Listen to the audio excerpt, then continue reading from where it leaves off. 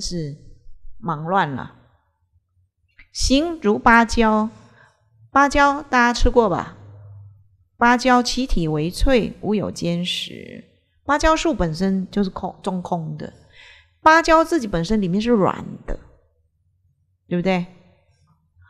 以喻众生妄念牵流，造作诸行，亦如芭蕉，虚脆而无坚实。所以众生的这个行啊。所有一切其实都在变异中当中了。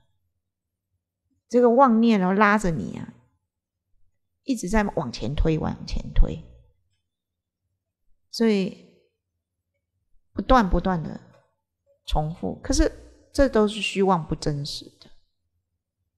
芭蕉为脆，势如幻视，幻视就是幻师以幻术产生的种种幻视。